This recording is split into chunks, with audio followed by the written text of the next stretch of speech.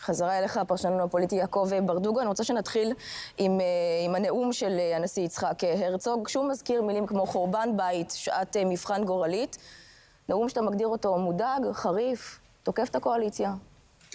הנשיא הרצוג החליט לקחת צד במשחק הפוליטי, לדעתי הוא עושה טעות, טעות גדולה. הוא הולך בדרכו של קודמו, רובי ריבלין. הוא לובש ממש את מדי החולצה של הקבוצה, קבוצת האופוזיציה. הוא מייצר לעצמו את ה... לפי דעתי, את הפלטפורמה איתה הוא רוצה לרוץ לבחירות. אנחנו יודעים שיש ואקום מאוד גדול כרגע בהנהגת השמאל. יצחק הרצוג הוא פוליטיקאי מכונן, הוא פוליטיקאי עם חושים חדים, הוא מזהה את ההזדמנות הזו, אבל הוא מזהה אותה מהמקום הלא נכון, ממקום מושבו כנשיא המדינה שאמור לייצג את כל המדינה. לא שמעתי בדבריו של הרצוג שום אמירה שהוא איננו מתכוון ויעמוד על כך, ושזה יעמדו המילים האלה לחובתו. הוא לא מתכוון לחזור לחיים הציבוריים. הרצוג גם משתמש בעולם של מונחים די מסוכנים, כי הוא בעצם מייתר את הכנסת.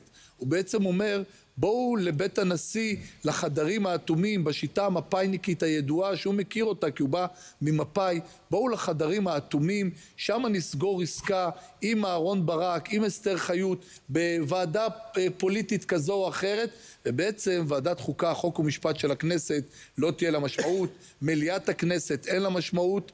צר לי להגיד, יצחק הרצוג עשה טעות גדולה.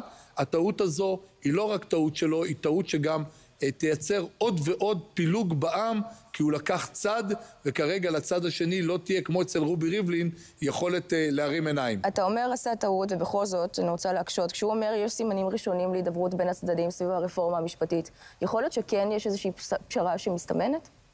אני יודע שהפשרה, אם היא תבוא, היא תהיה בתוך דיוני ועדת חוקה, חוק ומשפט. זאת אומרת, הוא מספר, ובדיוק מה שאני אומר, מי בעצם עושה את הפשרה? זאת אומרת, בעצם עושים עסקה, אני למדתי בחיים, שאני רוצה לעשות עסקה, אני עושה עסקה עם מנהל הקרקס, לא עם הליצנים. אומרת, מה אומר פה הרצוג?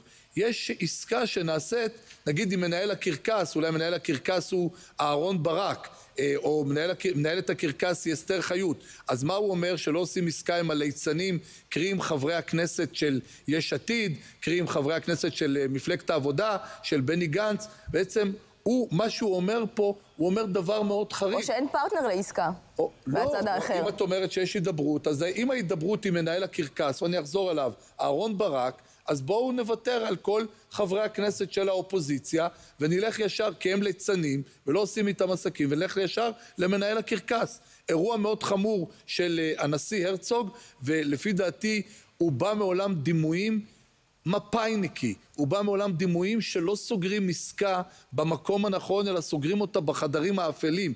ממשלת הימין שעלתה עכשיו חרתה על דגלה שהיא תעשה את הכל לאור השמש בצורה שקופה.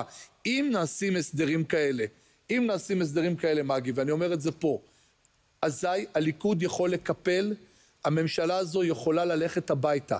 אם יש שחקן במגרש הפוליטי של קואליציית ה-64, שעושה עסקים בחדרים אפלים, עם מה שנקרא הליצנים, או מנהלי הקרקס של הצד השני, לא תהיה להם תקומה, ואני אומר דברים פה חמורים, מי שיעשה את זה, ואם יאמר ששחקן אפילו מרכזי עושה את זה, אני חושב שהוא ישלם מחיר, ועתידה של הממשלה הזו, איך אומרים? יסתיים. אני לא מאמין שיש בשום חדר אפל עסקה כזו, ואם היא קיימת, לקפל. כשאנחנו מדברים על שחקנים, והזכרת שחקנים, יכול להיות שגם יש איזושהי חצי רמיזה ליועמ"שית שנפגשת עם נשיאת העליון? תראי, זה בכלל, זו בכלל סוגיה אחרת. עניין היועמ"שית, טועים טעות גדולה בקואליציית ה-64 שמשאירים אותה על כנה.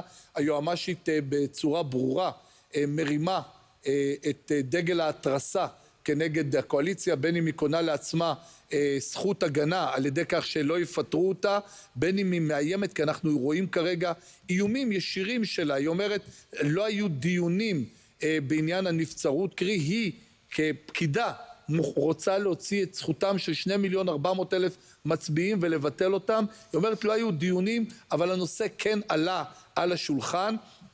ואז אנחנו מזהים שהיא צד למשפט, היא מייצגת את הממשלה והיא נפגשת עם נשיאת העליון, שתיהן פסלו את עצמם מכדי לה, להתייחס למסגרת הזו. הנשיאה חיות בוודאי ובוודאי, זאת אומרת, היא נפגשת עם מישהו שמייצגת כשעמדתה ידועה, כן. ובערב מיארה, שדרך אגב הם לא הכחישו שהם נפגשו, לפחות פגישה אחת, הפגישה האחת יותר מדי, חמורה מאוד, אנחנו נמצאים באירוע אחר.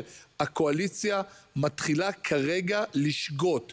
מי שמנצל את השגיאה הזו זו האופוזיציה.